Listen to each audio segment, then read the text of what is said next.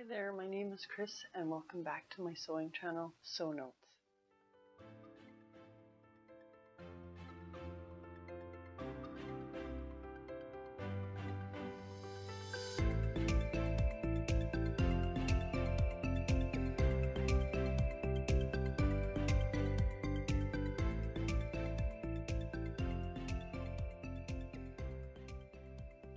Alright, on today's video I'm talking about my top 5 misses of 2019, all inspired by the Sewcialists blog. So here we go, starting up with number 5.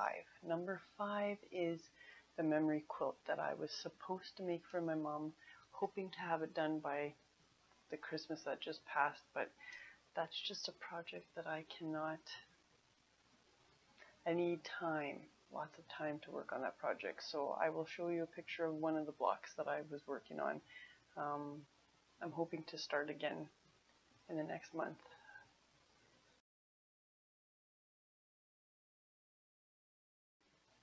Alright, for number four. Number four is the Samantha dress by AK Patterns. Now, I don't want to discourage anyone from sewing any of these patterns that I've listed on my top five misses they are a miss to me because I either never finished them, I the fit didn't I wasn't happy with the fit or it was because of my fabric choice. So for the Samantha dress pattern, I did the dress version with the tie sleeves and I found the tie sleeves to just be a little bit too tight for me.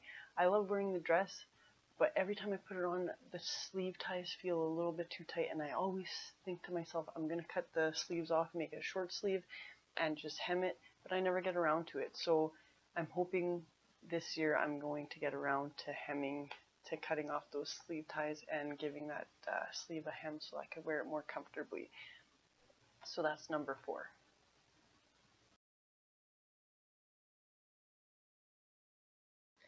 Number three is the Heidi Day dress by Wearable Patterns. And this is on my miss list because the fabric I chose. I chose a floral fabric with a black background and this is more of a summer dress. And for summer I don't typically like wearing black background fabrics. I like wearing light pinks, oranges, yellows, blues, um, not really black in the summertime. So this was simply an error on my part of choosing the black background for the fabric. Other than that, the dress is comfortable. It's such a great dress for the summer. I could also see you making a version for the winter or fall and layering it layering it with a turtleneck or something. So yeah, don't don't count these patterns out because they're on my miss list. They're just on my miss list because of the fabric choices or just the way it fit.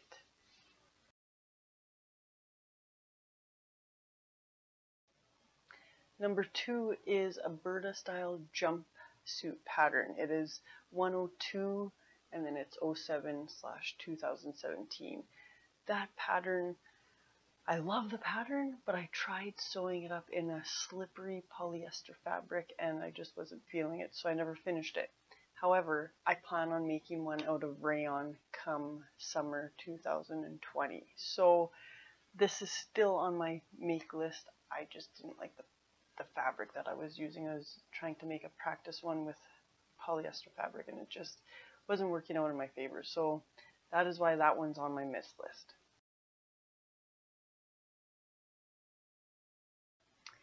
And number one, it's not a pattern, it's not a project, it is simply a sewing challenge of the Make 9 2019 sewing challenge.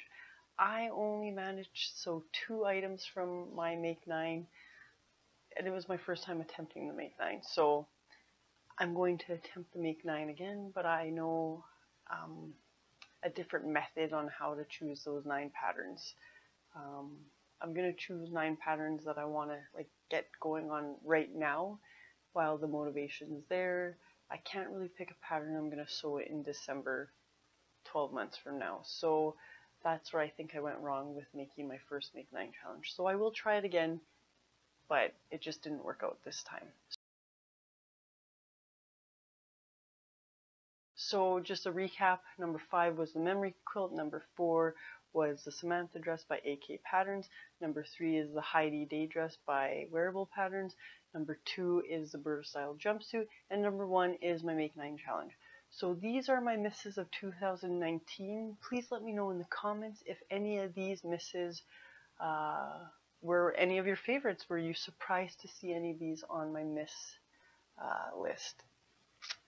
Um, coming up next will be my goals for 2020, which I will post in the next couple of days. So until then, Happy New Year.